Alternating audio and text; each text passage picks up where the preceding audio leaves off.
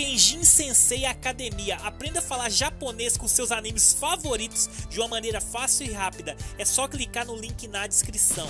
Agora que eu já trouxe animes de ação, romance e terror, agora a gente tem que diminuir um pouquinho, senão vai ficar pesada demais essa lista. É Blue Dragon, pessoal, um anime mais de boa para você conferir com sua namoradinha, com seu papai e mamãe ali, estilo Dragon Quest, estilo Digimon, com um protagonista chamado Shun ali, que tem uns poderes legais, não é tão infantil assim, é um anime muito bom, apesar que já passou na televisão aberta, já tem muitos anos, a história desse anime revela né, que um grupo de jovens, sete escolhidos, vão lutar contra a escuridão do mundo. E é uma jornada com mais ou menos 50 episódios, acho que é um pouco mais, 50 episódios. Eles vão lutando contra forças do mal, é, liberando alguns poderes bem legal. Vale a pena você conferir, pessoal. A dublagem dele ficou muito boa, gostei. O pessoal aí tá de parabéns. E vale a pena você conferir, ainda mais que é um anime mais tranquilo, você pode assistir com todo mundo, seu irmãozinho pequeno, seu namoradinho. É um anime mais light, porque é um anime de terror, você vai assistir perto dos seus pais ali, né? Talvez vai te encher o saco.